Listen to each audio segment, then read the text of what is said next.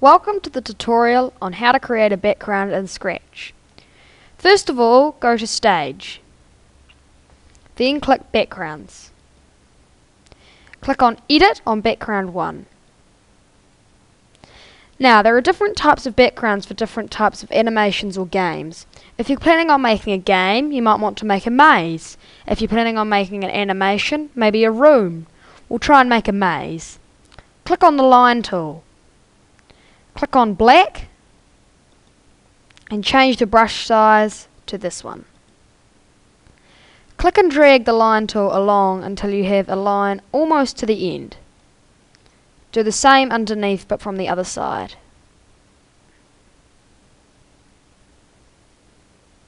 And finally, one down the bottom.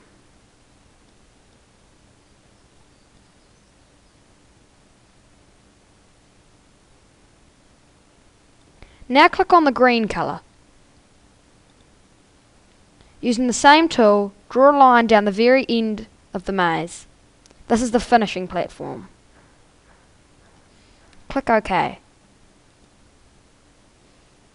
Now, if you're creating a game, you might want to make levels. So copy the first background and edit background 2. Click Clear.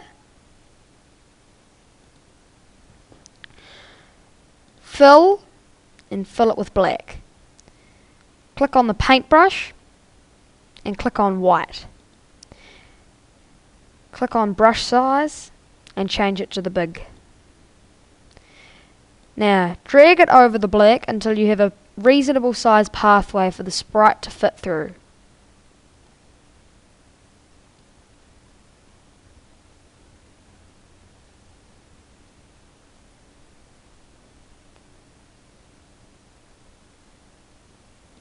Create a finishing platform with the same green as before. Click OK. Congratulations, you have created two backgrounds. Tune in for our next tutorial on Create Sp Sprite Movements.